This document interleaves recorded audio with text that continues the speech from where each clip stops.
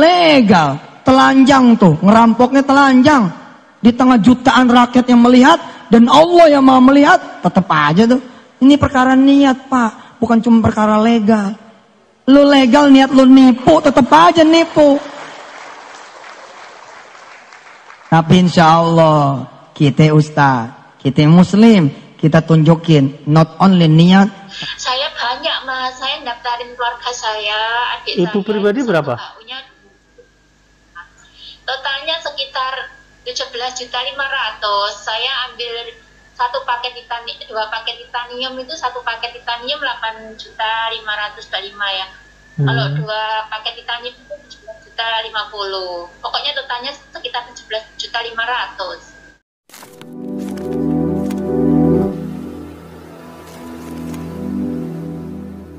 PSI, Peritra Network, ya hari ini dengan izin Allah kita nyatakan di launching. Wajah dunia.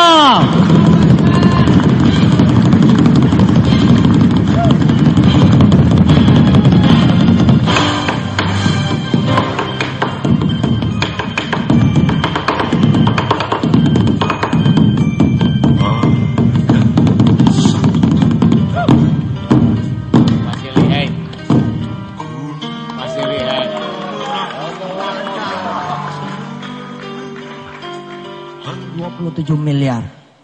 Eh, Anda tahu bikin warung steak and shake berapa duit? Approx kira-kira ya, kalau tempatnya nggak beli, nyewa. 800 tuh udah kebagusan. 800 juta udah kebagusan. Katakanlah satu miliar. Berarti kita dari ruangan ini sudah akan punya 27 outlet baru warung steak and shake. Ustaz, saya kan tadi pakai rumah saya, terus saya nggak punya rumah, saya mau nempatin ente semua, kasih aneh 27 miliar ente, ente tinggal di pesantren. Sampai aneh bisa beliin lagi, mau saya. Loh, gimana? Orang bodoh dong, tidak mau dikasih duit 27 miliar. Kalau cuman ngontrakin ente, murah, murah, murah. Segini banyaknya paling berapa rumah? Dan ada yang nggak ada, nggak perlu bayar lagi. Gimana? Taruh ente di masjid aja. Segratis. Nah ini dia pak, mikir, mikir. Bingung kan? Ternyata satu baris satu miliar. Kali 27, 27 miliar. Pertanyaannya adalah, siapakah yang menggerakkan potensi ekonomi umat ini? Jawabannya, kapitalis. Not us, bukan kita. Satu bank 10 juta nasabahnya. Saya memang belum legal, tapi akan legal. Tapi yang legal-legal 6 triliun hilang juga. Hilang juga, tengah malam lagi hilangnya. Sampai sekarang belum keungkap. Centuri, eh gua diomongin. Centuri ngomongin. Itu kan legal. Legal. Telanjang tuh, ngerampoknya telanjang. Di tengah jutaan rakyat yang melihat. Dan Allah yang mau melihat, tetap aja tuh. Ini perkara niat pak, bukan cuma perkara legal. Lu legal niat lu nipu, tetap aja nipu. Tapi insya Allah kita ustaz, kita muslim, kita tunjukin not only niat tapi langkah. Insya Allah besok saya akan ke minta doa, minta doa supaya besok silaturahim lancar dan siangnya langsung saya pers conference bahwa kita sudah punya izin. Ayo Bismillah kita beli ulang Indonesia. Allahu Akbar. Insya Allah, saudara akan naik pesawat besok. Persernya ngomong begini. Selamat datang Bapak Ibu semua di pesawat Bapak Ibu sendiri. Ah, keren. Silakan bawa bangkunya masing-masing. Punya ente semua. Hari ini kejutan buat saudara para penumpang yang menjadi pilot langsung saudara Yusuf Mansur. Wah, kejebur di laut. saudara besok naik taksi, naik taksi. Begitu saudara duduk, sopir taksi bilang, Assalamualaikum bu, Waalaikumsalam, makasih ya. Ini taksinya ibu, saya jadi kerja. Allah, enak. Saudara masuk hotel, hotelnya milik umat. Saudara masuk restoran, restorannya milik rakyat. Eh, enak. Insya Allah. Saudara masuk ke mall, mallnya mall umat, mallnya mall rakyat, harganya nggak ada, harga dumping-dumpingan, harga murah aja deh. Habis yang punya modal ente juga kok, subhanallah. Semua bisa dibagi sama ente pada. Sekarang bukan punya kita, tambang emas bukan punya kita, tambang minyak bukan punya kita, batu bara bukan punya kita, kita cuman jadi kuli. Dulu ini omongan Adi Sasono, Pak Adi Sasono ngomong, Besok bangsa Indonesia kalau tidak berubah, tidak bergerak, tidak belajar, tidak kemudian berusaha akan jadi aborigin di negerinya sendiri dan sekarang sudah terjadi. Udah terjadi, Pak. Suami ibu jadi karyawan, sebenarnya bukan modern slave, budak. Buktinya apa? Muduha susah. Duha lu kerja sama siapa? Duha-duha. Pakai jilbab nggak bisa. Karena kerjanya sama orang yang melarang jilbab. Tuh, kalau karyawan asli ada haknya dong. Undang-undang melindungi beragama. Nyatanya nggak boleh berjilbab. Nyatanya kemudian tidak ada hak sholat Jumat. Padahal kita mayoritas, tapi minoritas. Oh, celaka. Belum lagi kalau kita berpikir Indonesiana. Banyak teman-teman kita di daerah yang bukan muslim, tapi kita wajib prihatin sama mereka. Sekarang saatnya kita bergerak. Dan kita nggak muluk-muluk, kejauhan ngomong itu mah. Ah, kita mulai dari apa yang kita bisa mulai. Saya memulai dari Hotel Haji Umroh. Dari Hotel Haji Umroh. Sekarang di sini memulai dari Federal Trape. Insya, insya Allah. Nah ibu masuk PSA itu dulu daftar berapa? Saya banyak mas, saya daftarin keluarga saya, adik Ibu saya. pribadi berapa? Totalnya sekitar 17 juta 500. Saya ambil satu paket titanium, dua paket titanium itu satu paket titanium 8 juta 525 ya. Kalau Hmm. dua paket titanium itu 17 juta 50. Pokoknya totalnya sekitar 17 juta 500. Itu tahun 2013 ya ibu ya. Kalau misalkan 2013 itu nilai apa ya? Kalau misalkan, oh ya bukan dolar lah, kita nggak usah bisa konversi jauh-jauh ke dolar lah. Misalkan 2013 ibu udah bisa beli motor oh, Mio gitu ya, Mio yang baru ya gitu, atau misalkan kita masih bisa masih beli motor Supra. Sekarang Mio aja udah Iya. sekitar mungkin yang baru itu sekitar 21 22. Jadi sebenarnya selisihnya kalau 17 juta berarti mungkin ibu kalau dikonversi sekarang ya sekitar 28 jutaan lah. Berat seperti itu.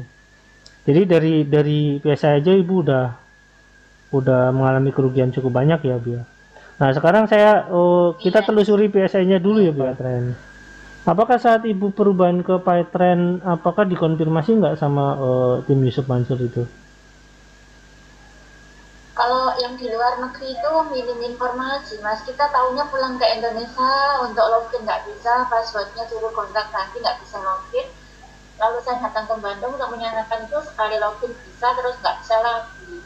Sering kontakkan di CS, masalahnya susah untuk eh, apa namanya konsultasi dengan CS-nya ya. Soalnya Nah, itu sudah nggak nggak bisa. Ini yang Pytren ya Bu ya. Jadi dari akses dari klik VSI ke Pytren ibu nggak dikasih tahu perubahannya. Karena gini, harusnya kalau misalkan ibu eh, di- jadi semacam di apa ya, dipindahkan data ibu sebagai anggota lama Pytren, harusnya ibu dikasih tahu. Ah, ibu harus daftar dulu, nanti di bagian IT ibu, ibu sebagai eh, pengguna lama Pytren, jadi kayak gitu harusnya. Gitu. Tapi ibu ternyata nggak dikasih tahu juga, nggak eh, bukan masalah di luar negerinya bu, tapi di masalah ini setiap perusahaan eh, aplikasi itu punya data apa ya bu ya? Saya lupa lagi PT-nya. PT yang VSA itu PT-nya apa? PT, ya PSI, PT PSI itu PT Beritra Senjata Internasional.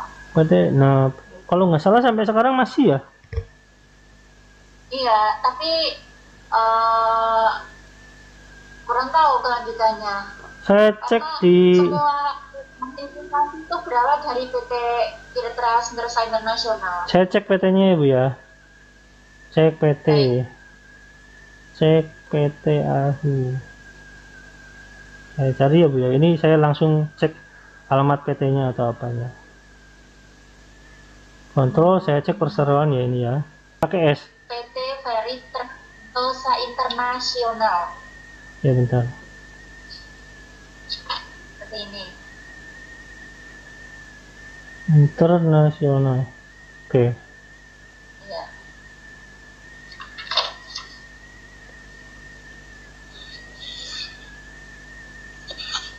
saya cari di Ahu. Nah ini bu ada nih. Ferry Traya Sentosa Internasional. Nah ini PT-nya ada ini eh, Parayang bisnis di kota Bandung bu Soekarno Hatta Iya. Jadi, di IPAS. Nah, jadi ketika ibu minta pertanggungjawaban ke sini, itu jawabannya bagaimana bu? Kan menurut informasi, katanya- menurut informasi gini bu, yang saya tahu menurut informasi bahwasanya anggota VSI itu di direct ke Pytrend, betul nggak? Jadi otomatis jadi anggota Pytrend semacam itu. Iya betul.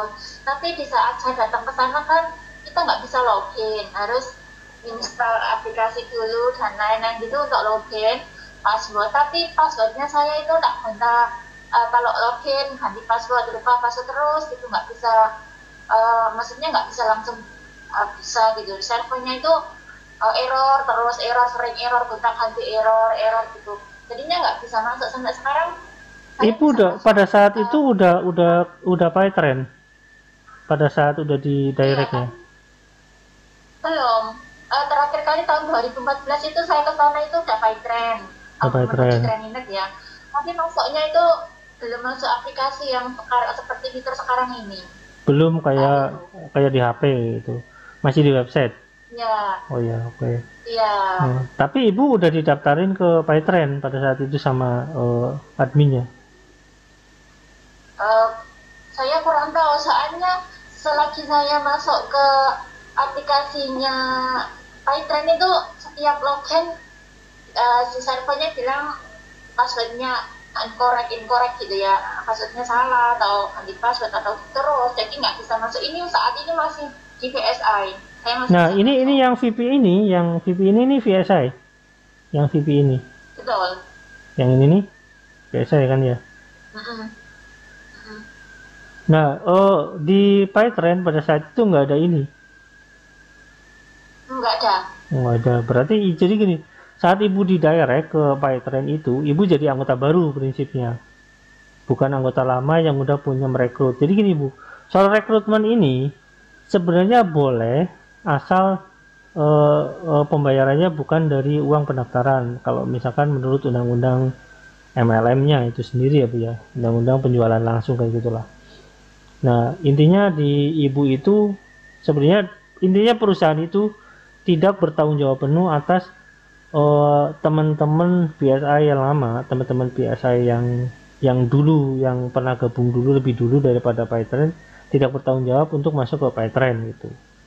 Karena itu kan ibu kan ada datanya nih, data-data harusnya Python itu punya database ibu harusnya ibu tinggal masuk tuh, tinggal misalkan minta ke misalkan ibu udah nanyain ke admin ya ibu ya, saya cari, Nah, misalkan kayak gini, ibu kirim pesan nanyain ke admin, Nih, harusnya admin otomatis oh iya data ibu ada asal email eh, nih kayak gitu ada di ibu ibu jadi anggota yang masuk anggota lama. Jadi tinggal diperbaiki masalah passwordnya karena itu masuk dalam layanan purna jual kalau dalam eh, kasus penjualan ya. Jadi admin itu sebagai pelayanan untuk semua anggota. Itu kalau ibu lupa password lupa ini yang penting asal ibu nicknya sama kayak gitu bisa dimasukkan jadi kasus ibu itu dari PSI ke Python itu ibu nggak masuk dalam anggota Python. Jadi pendaftaran yang VP, yang VP ya bu ya, yang VP itu ibu hangus secara otomatis tanpa pertanggungjawaban eh, Python walaupun PT-nya sama ya bu ya. Ini kan PT-nya sama kan ya, walaupun nah ini kan Veritra Sentosa Internasional. Walaupun PT-nya sama tapi tanggung jawab tanggung jawab Python secara secara divisi tidak bertanggung jawab kepada anggota VSI gitu. Kalau dalam kasus ibu gitu. Walaupun harusnya perusahaan Veristra VSI ini ini kan Veristra Sentosa International harusnya bertanggung jawab atas eh, anggota-anggota lama gitu yang udah menginvestasikan dananya ke PT ini gitu. manajemen iya Iya, Terus, sama PT-nya kan sama. Jadi gini Bu, kan antara Python dengan VSI karena PT-nya sama, ibu nggak ada urusan antara VSI dan Petren. Ah, Yang penting kan tanggung jawab PT. Karena tanggung jawab perseroan untuk kasus-kasus perdata. Itu jadi intinya PT Veritas Trust Internasional itu tidak bertanggung jawab atas eh, hal-hal yang menyangkut keperdataan ibu di VSI. Itu kan kasusnya ibu perdata. Karena keperdataan ada hubungan kerja atau hubungan kerjasama itu sifatnya keperdataan. Jadi intinya secara undang-undang IT, jadi transaksi tra- transaksi keuangannya ibu itu harusnya si PT ini ini melanggar transaksi keuangan kayak gitu. Harusnya gitu ya. Tapi kan kita nggak bisa menggugat satu perusahaan itu eh, menjustifikasi satu perusahaan itu serta merta gitu. Tapi kalau menurut pandangan saya seperti itu ya bu ya. Itu nanti hasil akhirnya tetap dikembalikan lagi di pengadilan nantinya kalau kasus seperti itu. Oke kita lanjut ya bu ya. Setelah biasa ibu lanjut ke gimana? Eh, saya mau menanyakan di saat saya tanya ke CS yang ada di Bandung, di Pytrend manajemen Pytrend di Bandung itu di kantornya kan kitanya di luar negeri pakai nomor luar negeri tadinya ya. Ya. Atau untuk daftar, untuk eh, ngisi formnya, update-nya pakai nomor luar negeri. Setelah kita pulang Indonesia, otomatis kan pakai Indonesia punya nomor ya. Sehingga Iya. kita kesulitan juga untuk transaksi di situ, Mas, saat itu. Dan Oke. kita tidak bisa kasih solusi.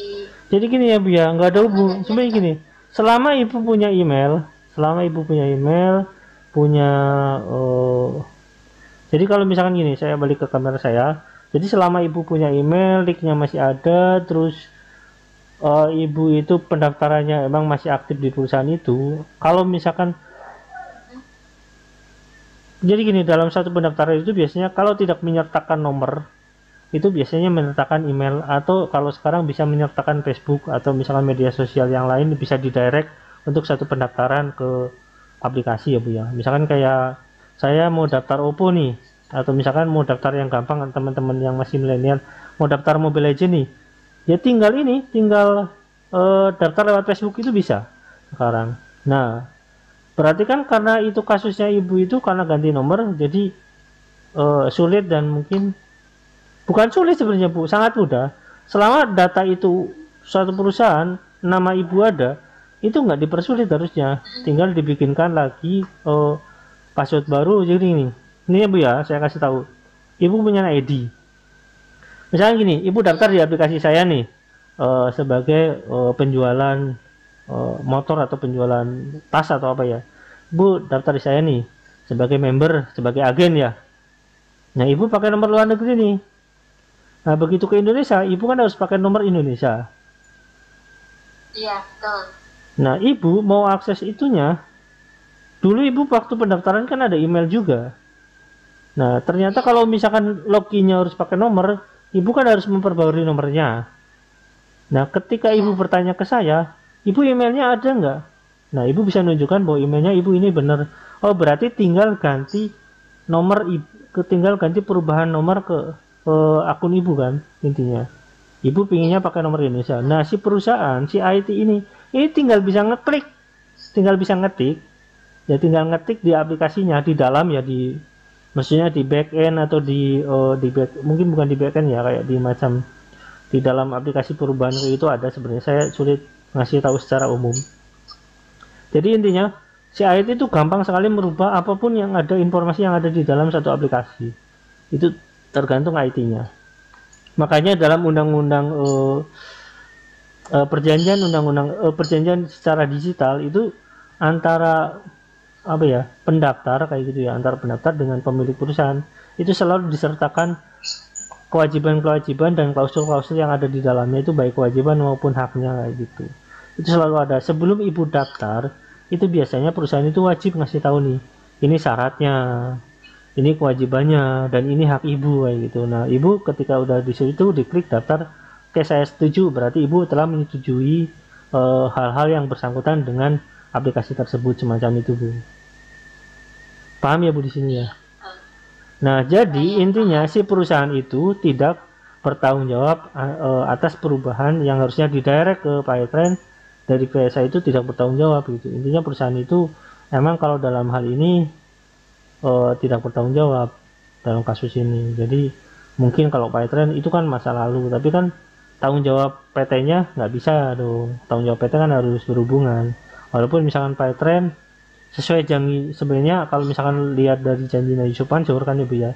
Yusuf Mansur kan menjanjikan tuh bahwa setiap anggota PSI itu nanti menjadi anggota Python kan. Itu banyak di di video-video di YouTube sih